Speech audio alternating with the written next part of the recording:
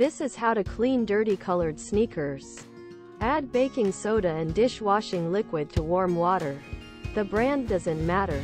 I used whatever was available. Same for the dishwashing liquid I used what I had. There is no wrong or right way to clean dirty colored sneakers.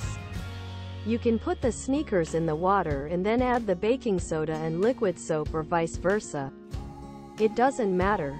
I didn't soak these sneakers. I pushed them down in water and got a brush which I used to scrub the sneakers and before I know it those sneakers were just like new.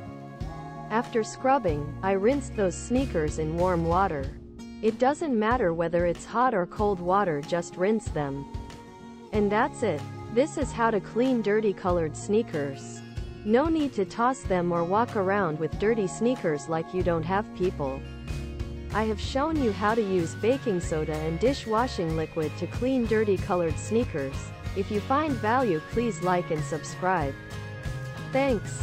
Please leave suggestions and alternative ways of cleaning dirty sneakers if any in the comment box.